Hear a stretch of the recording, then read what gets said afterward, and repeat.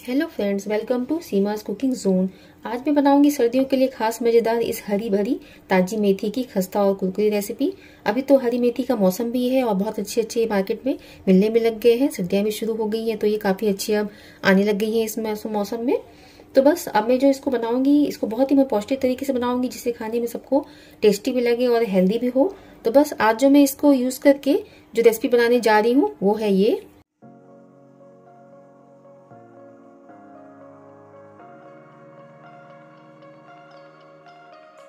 तो इस मेथी का यूज़ करके मैं बहुत ही हेल्दी क्रंची क्रिस्पी रेसिपी बनाने वाली हूँ, क्योंकि ये अपने आप में बहुत ही पौष्टिक होता है। ऐसे इतना स्वादिष्ट बनाऊँगी ना कि मुँह का स्वाद तो बढ़ाएगा ही और इसके स्वाद को तो आप भूल भी नहीं पाएँगे। तो इसको बनाने के लिए मैंने दो कप मेथी लिया हुआ है। इसको मैंने सबसे पहले कि अच्छे से धो लिया, उसके बाद मैंने इसको काट लिया है। जो इसके मोटे मोटे डंठल थे, उसको मैंने हटा दिया है और जो पतले पतले महीन नरम डंठल होते हैं, उसको हटाने की ज़रूरत नहीं है, उसको आप इसमें कट कर सकते हैं। तो अच्छी एकदम फ्रेश मेथी लें, आप हरी भरी पत्ती देख करके उसको ले चूज़ करें। तो बस इसको अच्छे तरीके से काटने से पहले इसको पहले धो लेना चाहिए, उसके बाद इसको काटना चाहिए। तो बस अब मैं इसको चलती हूँ बनाने के लिए। बनाने के लिए मैंने गैस ऑन करके पैन चढ़ा दिया है, इसमें मैं एक छोटी चम्मच घी डालूँगी। घी की जगह आप तेल भी डाल सकते हैं, लेकिन घी से क्या है टेस्ट बहुत अच्छा आता है। इसी में मैं, जो मेथी मैंने काट के रखा है ना, उसको मैं इसमें डाल देती हूँ, भूनूँगी। घी में इस मेथी को बढ़िया से भून लेंगे। फ्लेम को एकदम हाई रखेंगे, कम नहीं करना है। और बस फटाफट से इसको एक मिनट तक के लिए भून लेंगे इससे कि अच्छा नरम पड़ जाए और इसका टेस्ट भी अच्छा उभर करके आएगा। घी में भूनने से क्या है कि पता नहीं चलेगा मेथी की कड़वाहट जो है, थोड़ी सी कम हो जाएगी। इसलिए इसको घी में भूनेंगे। अब सर्दियों में मेथी तो खूब मिलती है, लेकिन अब सोचना ये रहता है कि किस तरीके से बनाएँ कि बच्चों को भी अच्छा लगे, पता ही नहीं चले कि मेथी का बना हुआ है। तो इस तरीके से आप बना करके बच्चों को दीजिए, उन लोगों को पता ही नहीं चलेगा कि ये मेथी का आपने बनाया हुआ है और सभी को बहुत पसंद आएगा। हल्की फुल्की भूख हो, शाम के टाइम में कुछ खाने का मन कर रहा हो, चाय के साथ कुछ खाने का अगर टेस्टी कुरकुरा खाने का मन कर रहा है तो आप इसे बना करके महीनों तक स्टोर करके भी रख सकते हैं। खराब भी नहीं होगा जल्दी में तो बस इस तरीके से भून लेते हैं इसको। तो ये देखिए, मेथी नरम हो गई है। मेथी तैयार हो गई बनने के लिए। बस अब गैस को बंद कर देती हूँ। अब इसी में कुछ चीज़ें और मिला लूँगी। इसी में मैं एक चम्मच अजवाइन डालती हूँ। इसको मैं थोड़ा सा मसल के डालूँगी। हाथों से इसका टेस्ट इसमें अच्छा आएगा। मसल के डालने से इसको मैं डाल देती हूँ इसी में। एक चम्मच जीरा डाल देती हूँ। हाफ़ चम्मच हल्दी डाल दे रही हूँ। दो चुटकी मैं इसमें हींग डाल दे रही हूँ। इससे टेस्ट बहुत अच्छा आएगा। अब इसमें टेस्ट के अकॉर्डिंग में कश्मीरी लाल मिर्च डाल दे रही हूँ। इससे क्या है भी कलर बहुत अच्छा आएगा बहुत तीखा तो नहीं होता है। अगर आपको ज़्यादा तीखा चाहिए तो इसकी जगह आप नॉर्मल रेड मिर्ची डाल सकते हैं। एक चम्मच धनिया पाउडर डाल देंगे। सभी मसाले बहुत थोड़े थोड़े डाल रहे हैं। अब मैं इसमें एक कटोरी ये गेहूँ का आटा, आधा कटोरी में गेहूँ का आटा और डाल दी हूँ। पूरा मिलाकर ये डेढ़ कटोरी गेहूँ का आटा हो गया। अब मैं इसमें आधी कटोरी सूजी डाल दी हूँ। गेहूँ की जगह आप इसे पूरा मैदे से ही बना सकते हैं, लेकिन मैं इसको थोड़ा हेल्दी बना रही हूँ तो इसलिए मैंने इसमें गेहूँ का आटा डाला हुआ है। स्वाद के अनुसार इसमें नमक डाल देते हैं। एक चम्मच ये ददरा कुटा हुआ काली मिर्च डाल देंगे। इसमें जो मैंने सूजी डाला है, वो पूरी तरह से ऑप्शनल है। आपको ना इच्छा हो अगर तो ना डालें, लेकिन उसको डालने से क्या बहुत ही खस्ता कुरकुरी बनेगी अपनी मटरी इसलिए मैंने इसको डाला है। अब इसमें एक चम्मच सफ़ेद तिल डाल देंगे। तिल डालने से क्या है? क्रंचीनेस आता है, देखने में बहुत सुंदर लगता है और सर्दियों में तिल तो खाना ही चाहिए, बहुत फ़ायदेमंद भी होता है। तो तिल एक चम्मच ज़रूर डालें। अब इन सभी चीज़ों को अच्छे से मिक्स कर लेंगे, थोड़ा ठंडा होने देंगे। मोइन डाल करके तब इसको आटा को गुथेंगे। अब इसके स्वाद को बढ़ाने के लिए एक चम्मच ये पिसी हुई चीनी डाल देंगे। इससे क्या है, मीठा बिल्कुल नहीं होगा, लेकिन इसका टेस्ट बहुत अच्छा बढ़ जाएगा। और मेथी मैंने डाला है ना तो कड़वापन बिल्कुल भी पता नहीं चलेगा। तो सभी चीज़ों को अच्छे से मिक्स कर लेते हैं। अब इसमें मोयन के लिए और खस्तापन के लिए दो चम्मच घी डालती हूँ। अब इसको मिक्स करते हुए अच्छे से गूथ लेंगे आटा को। सबसे पहले ऐसे ही बिना पानी डाले ही सभी चीज़ों को अच्छे से हाथों से मसल मसल करके इसको मिक्स कर लेंगे, जिससे कि जो मेथी की गुठली बनी होगी, वो सब आपस में अच्छे से आटे से, आटे में मिल जाएँगे। तो इस तरीके से हाथों से मसलते हुए मिक्स कर लेंगे पहले, जिससे कि घी भी अच्छे से लग जाए सभी आटे में। और इसकी एक मुट्ठी बननी चाहिए तो पता चलेगा कि मोइन एकदम परफेक्ट डला हुआ है। तो काफ़ी खस्ता कुरकुरी बनेगी ये मटरी। मोइन के लिए आप इसमें घी ही डालें। घी से क्या है कि बहुत अच्छा खस्ता कुरकुरा बनता है। टेस्ट भी इससे बहुत अच्छा आता है और काफ़ी क्रिस्पी क्रंची बनता है। सभी आटों में अच्छे से लग गया है घी भी। तो ये देखिए, जब मैं ऐसे मुट्ठी बना रही हूँ ना, कितना अच्छा ये इकट्ठा हो। रहा मतलब कि मोइन एकदम परफेक्ट बना हुआ है। अब थोड़ा थोड़ा पानी डालते हुए इसका आटा मैं गूथ लेती हूँ। और हमें इसका आटा जो है न तो बहुत सख्त चाहिए और न ही बहुत मुलायम चाहिए। इस तरीके का आटा हमें इसका बनाना है। इसको आटा को गूथ लेंगे। जितना मसलेंगे उतना ये आटा अच्छा होगा। बनाने में काफ़ी अच्छा खस्ता कुरकुरा बनेगा। तो ये देखिए कितना अच्छा आटा गूथ करके तैयार हुआ है। न तो बहुत कड़ा है और न ही बहुत ये सॉफ्ट है। ऐसी चाहिए। बस अब इसे ढक करके 10 मिनट के लिए छोड़ देते हैं, जिससे कि जो मैंने सूजी इसमें डाला है वो बढ़िया से फूल जाए। बस अब इसको छोड़ देते हैं इसे ढक करके।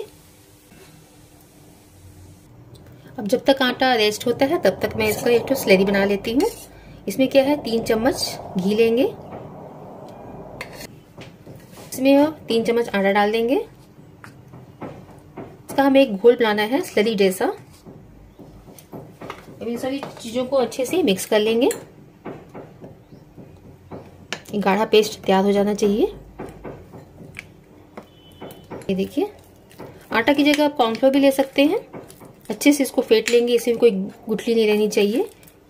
इसमें थोड़ा सा चाट मसाला मिला देते हैं, जिससे कि टेस्ट इसका और भी अच्छा आएगा। और सभी चीज़ों को अच्छे से मिक्स कर चाट मसाला की जगह आप आधी देने भी डाल सकते हैं। दस मिनट हो गए हैं आटा को देख लेते हैं। थोड़ा सा ऊपर से घी डाल करके इसको और गूथ लेते हैं। अब इसका एक रोल बना लेते हैं। थोड़ा इसको कट कर लेंगे। बस। कोई को लेंगे, बाकी को रख देते हैं।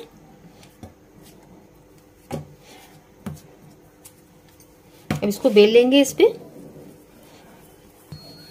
अब इस तरीके से इसकी पतली सी रोटी जैसे बेल लेंगे। ये देखिए, मैंने एक पतली सी रोटी इसकी बेल ली है। अब जो मैंने स्लेरी बना के रखा था ना, इसको इसके ऊपर फैला देंगे। थोड़ा थोड़ा सा। हाथों से लेके फैला देंगे जिससे कि ये सब तरफ़ अच्छे तरीके से फैल जाए। ऐसा इसलिए कर रहे हैं क्योंकि जब इसको हम तलेंगे तो इसकी एक एक परत जो है खुल जाएगी और काफ़ी खस्ता और कुरकुरा बनेगा। अब एक साइड का हम पहले दस से फोल्ड करेंगे उठा करके। इस तरीके से। फिर इसको इधर दूसरे साइड से फोल्ड करेंगे, केयरफुली उठा करके। इस तरीके से। यहाँ पे भी लगा देंगे स्लरी को। फिर इसके ऊपर सूखा आटा डस्ट करेंगे। फिर इधर साइड को उठा लेंगे ऐसे। ये ऐसे स्क्वायर में हमको बनाना है। फिर इधर से भी ऐसे कर लेंगे। ये देखिए पूरा स्क्वायर में बन गया। अब इसके ऊपर हम आटा डस्ट करेंगे। और इसको अच्छे तरीके से ऐसे स्क्वायर में हमें बेल लेना है। ये इस तरीके से देखिए। इसको भी पतला और लंबा बेल लेंगे। देखिए, इस तरीके से बेल करके तैयार हो गया है। अब ये इधर भी हम स्लरी को लगा लेंगे। स्लरी यानी कि सांटा जो मैंने तैयार किया हुआ है, घी और आटे का, उसको लगा लेंगे सब तरफ़ अच्छी तरीके से। इसके ऊपर भी सूखा आटा डस्ट करेंगे थोड़ा सा बस अब एक बार इसको साइड से करके बीचों बीच में लेकर के आएँगे, इस तरीके से। और इधर से भी इसको फोल्ड कर देंगे, ऐसे। अब इसके ऊपर भी आटा डस्ट करके इसको अच्छे से बेल लेंगे। बेलेंगे इस तरह इसलिए क्योंकि जो मैंने साइड में इसको जो चिपकाया है तो ये खुले ना, इसलिए इसको थोड़ा सा बेल करके दबा देंगे। बस इसको थोड़ा सा बराबर से कर लेंगे। अब इसको क्या करेंगे? चक्कू से कट कर देंगे। इस तरीके से?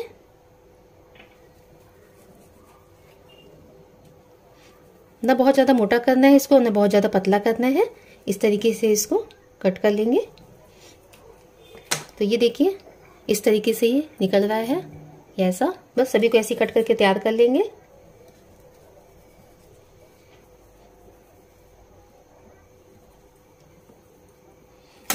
साइड के जो थोड़े से अनइवन है, इसको हम वाले आटे में मिला देंगे, इसको फिर से हम यूज़ कर लेंगे।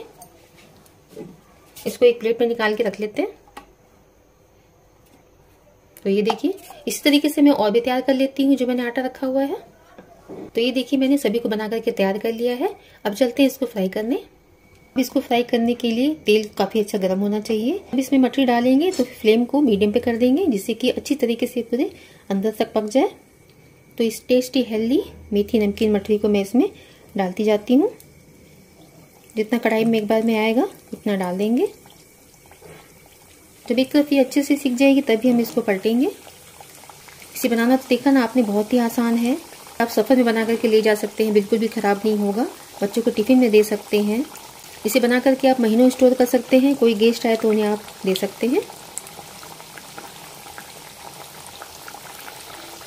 एक तरफ़ से जब ये सीख जाएगा तो उलटते पलटते हुए इसे हम दोनों तरफ़ से सेक लेंगे।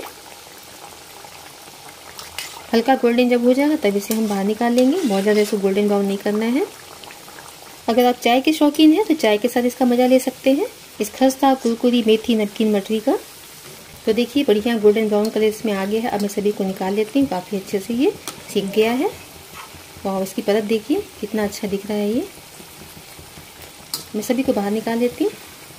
जैसे जैसे ये ठंडा होगा, वैसे वैसे ये और क्रिस्पी होता जाएगा। बस जो और बचे हुए हैं, उसको भी मैं डाल करके फ्राई कर लेती हूँ। मैंने आटा से बनाया है तो ये हेल्दी तो है ही, और बच्चे भी इसे बहुत आसानी से खा सकते हैं। इसमें कोई मैदा नहीं है। इसके पहले भी मैंने राउंड शेप की लेयर्ड मटरी को शेयर की हुई है, उसको आप ज़रूर देखिए। बहुत ही बढ़िया स्नैक्स है ये। आप इसे ज़रूर ट्राई करें। तो ये देखिए खस्तेदार परतों वाली स्वादिष्ट हरी भरी मेथी की नमकीन मठरी बन करके तैयार है। बनाना देखिए, इसे बहुत ही आसान है। इसे आप बच्चे को बना करके देंगे तो बच्चे तो बहुत ही खुश हो जाएँगे। उनको पता ही नहीं चलेगा कि आपने मेथी से बनाया हुआ है। तो ये देखिए, आपने देखिए, यहाँ से कितना खस्ता बन करके तैयार हुआ है। ये देखिए ये देखिए कितना खस्ता। बहुत ही अच्छा बन करके तैयार हुआ। तो आप भी इसे घर में ज़रूर बनाइए और अपने प्यार प्यारे कमेंट्स करके हमें ज़रूर बताइएगा कि रेसिपी आपको कैसी लगी।